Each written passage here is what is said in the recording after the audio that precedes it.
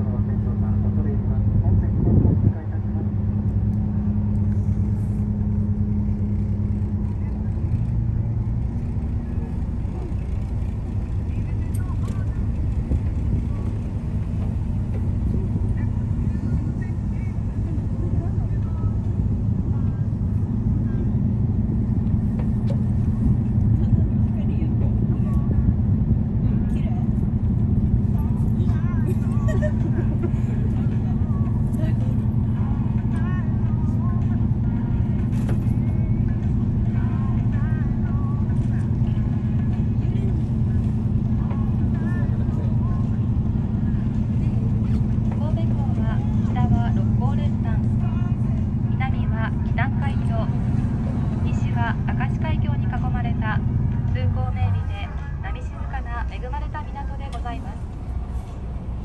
オランダのデルナ湖アメリカのニューヨーク湖ドイツのハブルク港など世界で有名な港が大きな拠点と今後利用して作られた港が多いのですがこの神戸港は天然の入り江に人工島を加えた港で